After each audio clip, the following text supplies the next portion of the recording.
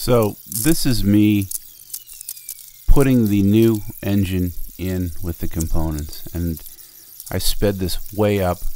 I think this is 45 minutes of me going up and down and down and up and over and back, moving the car this way, moving the engine, tilting back and forth. And I finally got it in. There are two engine mounts and five or seven bolts, something like that, to hold the engine to the transmission housing. Just going back and forth. If you get, if you do this, try to get a friend to help you. Um, the friend could be doing the lift while you are moving the engine around. You have your hands on the engine carefully, not anywhere they're going to get pinched. But it it is ridiculous because it, it it should have taken me about eight ten minutes, and it took me 45 minutes. There, there you see me lifting one side of the engine up.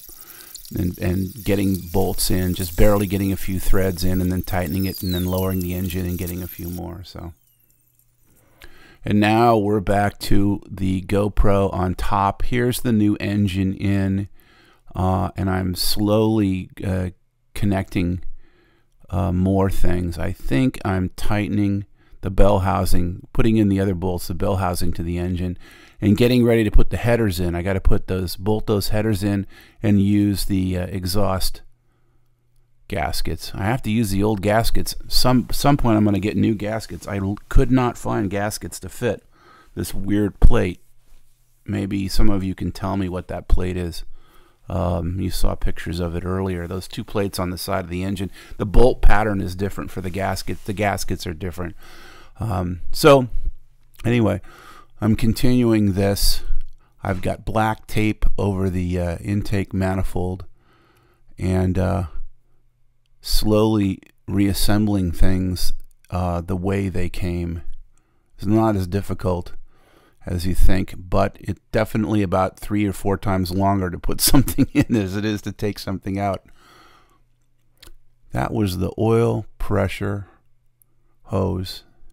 Now I'm cutting all of the uh, exhaust manifold bolts. They were all about an eighth of an inch too long initially. So I'm cutting them all off. There are 14 of them. I'm over at the grinder and I'm rounding the ends and smoothing them the the rough cutoff that I did. I could have done this in the metal cutting bandsaw. Uh, that is, cut them off, but it seemed faster just to use a an abrasive cutoff wheel. There you can see the gaskets that I'm reusing, which I probably shouldn't. I should probably, and it, it wouldn't be too hard to put new gaskets in to unbolt the headers and slip new ones in in the future if I have leaks. They seem to be okay.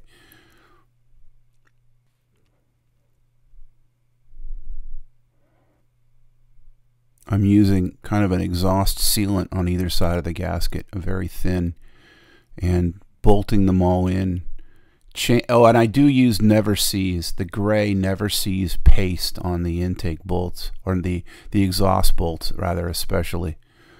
Not the intakes, but the exhaust.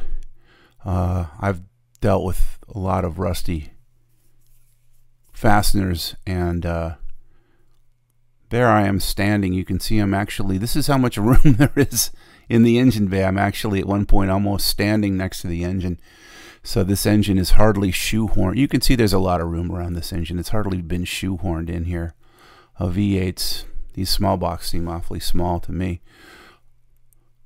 Now I'm under the engine, hooking the fuel pump back up, using this braided fuel line that I got from Summit or Jegs, I can't remember, but it's a it's got a like a plastic tubing on the inside as opposed to a nitrile rubber. And it's supposed to be much more resistant to uh, fuel that has additives in it things in it. So and it's braided. So I've been I'm using that instead. I think it's a 3 8 line. I don't think it's quarter inch.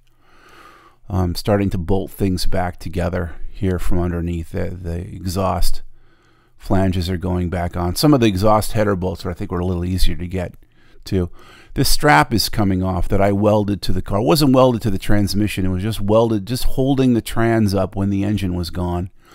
and now I uh, I spray painted where I had welded it. That worked that worked pretty well. It didn't really take me that long to to fabricate that strap and put it in. The quadrajet's going back in, uh, or has gone back in. Now the wiring is being reattached. Pretty easy to do.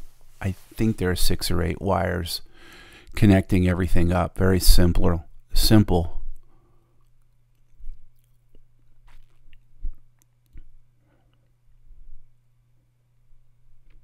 That was the the uh, linkage to the carb, throttle linkage. You can see there's a shaft there on the left.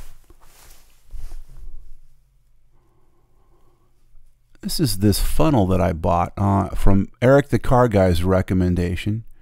And it's a great funnel because it sits on top and while your your coolant is is burping and gurgling, it just sits there and is always feeding the right amount of coolant in to the engine. I think it was $25, $29 comes with all these adapters and seems like a real must have especially when you're starting out and your whole coolant system is empty and there's a lot of air in there for it to burp. So now it's going up in the air for a while. Oh, probably when I was working on it before. Coming back down again.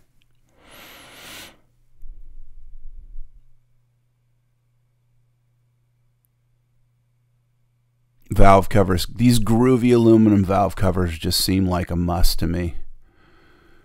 Putting the oil in.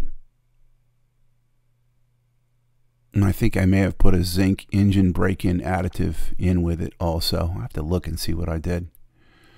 Um, oil is going in. And I I left the other valve cover off because what I wanted to do is crank the engine, crank it and crank it and crank it with a screwdriver on a drill until I could see oil coming up to the top of the rocker arms. That never happened, um, but I did crank it a lot. Here's the the uh, distributor going back in, and me figuring out how to route all the wires.